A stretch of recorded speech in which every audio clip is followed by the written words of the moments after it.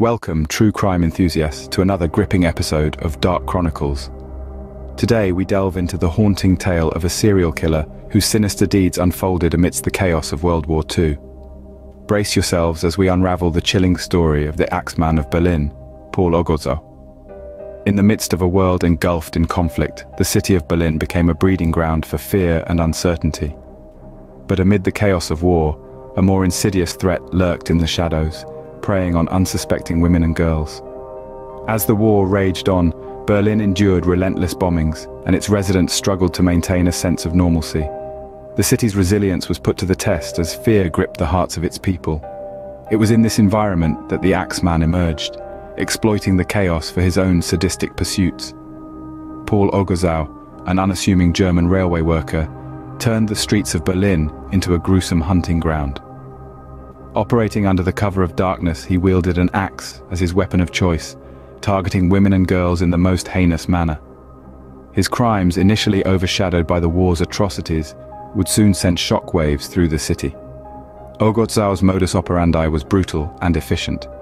Striking fear into the hearts of Berlin's residents, he left a trail of devastation in his wake.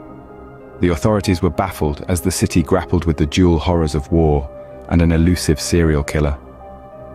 Despite the challenges posed by the wartime environment, law enforcement embarked on a relentless pursuit of the Axeman. The investigation, hindered by the scarcity of resources, slowly pieced together the puzzle of Ogorzow's reign of terror. As the body count rose, the urgency to catch the elusive killer intensified. Join us as we uncover the gritty details of the manhunt, the false leads, and the tireless efforts of those dedicated to bringing an end to Ogorzow's horrific spree. The Axeman's reign of terror came to a dramatic end as investigators closed in on Paulo Ogorzow. In a city scarred by war, justice sought to prevail over evil. The capture marked a turning point for Berlin, offering a glimmer of hope amid the darkness that had enveloped the city. Ogorzow faced the consequences of his heinous crimes in the aftermath of the war. The legal system sought to bring closure to the victims' families and restore a sense of justice to a city battered by both external and internal forces.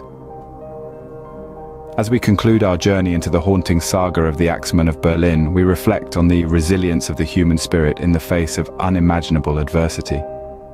The crimes of Paul Ogorzow, though obscured by the tumultuous backdrop of World War II, remind us that even in the darkest times, justice can prevail.